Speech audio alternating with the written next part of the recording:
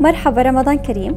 أنا أسيل عمران فنانة سعودية وعشان أكون أكثر تحديدا ممثلة ومغنية. رمضان بالنسبة لي كان كل سنة عبارة عن بروفات مسرح وبعدين عروض العيد.